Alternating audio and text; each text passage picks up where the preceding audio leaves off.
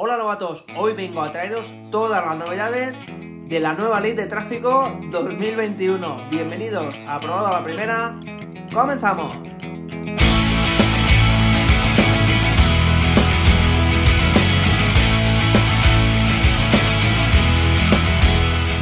Hola novatos, soy Eden 10 y sí, vamos a tratar todos los puntos importantes que han cambiado en la nueva normativa de tráfico. Vamos a hablar sobre los cambios en la velocidad fuera de poblado. Vamos a hablar sobre todos los cambios en la normativa de puntos. También sobre el patinete eléctrico, todos los cambios y obligaciones que va a tener que tener a partir de ahora. También cambios para esos pillines que se copian en los exámenes, que van a tener ahora un castigo importante y por supuesto la nueva tasa de alcoholemia, que la nombraremos al final. Así que vamos al lío. Bueno, y el primer cambio del que vamos a hablar es sobre la eliminación de tener 20 kilómetros extras a la hora de adelantar fuera de poblado. Antes podríamos circular en una vía, por ejemplo, eh, genérica de 90 kilómetros por hora y tenemos 20 kilómetros extras para hacer un adelantamiento, con lo cual se puede hacer a 110 kilómetros por hora. A partir de ahora, esa, em, digamos, esos 20 kilómetros extra los vamos a perder, con lo cual no podemos hacer adelantamientos a un vehículo que, por ejemplo, vaya ya a unos 84, 85 kilómetros por hora, porque nuestro margen de adelantamiento es mínimo. Con esto lo que se pretende es reducir la tasa de siniestralidad, porque dos de cada tres accidentes son en carreteras convencionales y digamos también se está adaptando la normativa española a la normativa europea, porque al final todo lo que viene de Europa debemos acatarlo. Bien, también tenemos muchos cambios en los puntos. Antes, cuando un conductor tiraba una colilla fuera del coche, eh, eran cuatro puntos de sanción. A partir de ahora van a ser seis. Por el peligro que entraña, lógicamente, pues tirar una colilla y que se nos pueda quemar medio bosque. Es muy importante. Bien, si no llevamos el casco, pasamos de 3 a 4 puntos. Si no llevamos cinturón, pasamos de 3 a 4 puntos también.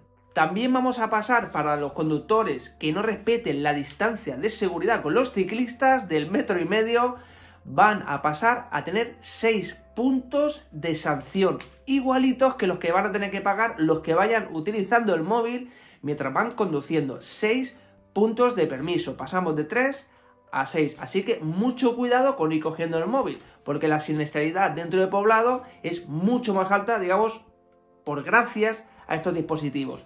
También tener mucho cuidado porque el, no es solo por, digamos, tenerlo en el coche, utilizarlo con la mano, simplemente con que nos haga una foto desde lejos, porque estemos tocándolo en el imán del vehículo, simplemente por tocar la pantalla van a ser 6 puntos de permiso. Para un Nobel que empezáis con 8 a circular, que os quiten 6, os quedáis con solo dos puntitos, así que mucho cuidado con utilizar el móvil, modo ponerlo en modo no molestar, utilizar la pantalla del vehículo si tenéis que eh, coger una llamada, pero el móvil a partir de ahora os va a costar muy caro. También es muy importante que tengáis en cuenta que tardaréis dos es un cambio que va a haber, que vamos a tardar a partir de ahora dos años en recuperar el total de nuestros puntos. Ya no va a haber distinción entre faltas graves o faltas muy graves, que eso hacía que el tiempo de espera para recuperar nuestros puntos pues variara. A partir de ahora se ha simplificado todo y digamos que con dos años sin cometer ninguna infracción que conlleve pérdida de puntos, los recuperaríamos todos. Bien, y ahora pasamos a los patinetes, sí, esos vehículos que lo pasan por todos los lados van a velocidades medias superiores a los coches dentro del poblado, velocidades medias, ¿vale? No digo máximas, por supuesto, porque como máximo deberían ser empujados por su motor eléctrico a unos 25 kilómetros hora. También es muy importante que van a estar obligados a partir de ahora a llevar casco, sí o sí. Bien, ¿dónde pueden ser utilizados? Solo dentro del poblado, pero ojo, no todos los sitios dentro del poblado, porque por ejemplo en las aceras no van a poder ir, son como cualquier tipo de vehículo, tienen que ir por la calzada. Tampoco, tampoco podían ir por travesías, porque es un tramo de fuera de carretera que digamos que concurre por suelo urbano, pero es carretera. Ni por travesías, ni aceras, ni por túneles urbanos tampoco podrían circular. Así que también es importante que tengamos todo esto en cuenta, que a partir de ahora son vehículos, deben atender a todo tipo de señalización, con lo cual pueden ser penalizados como cualquier otro conductor en un control de alcoholemia, en un control de drogas, saltarse un semáforo, adelantar por la derecha cuando no se pueda, así que es muy importante que tengamos todo esto en cuenta. Luego también se ha actualizado porque, por lo visto, con el tema de que todo lleva mascarilla, hay gente que esconde audífonos para copiarse los exámenes de conducir. Bien, antes, digamos, pagaban una multa y se podían volver a examinar, pero a partir de ahora se ha endurecido. Van a ser 500 euros de multa más 6 meses sin poder obtener el permiso de conducir. Así que hacer mucho test a estudiar, pero no os copiéis que va a salir muy caro.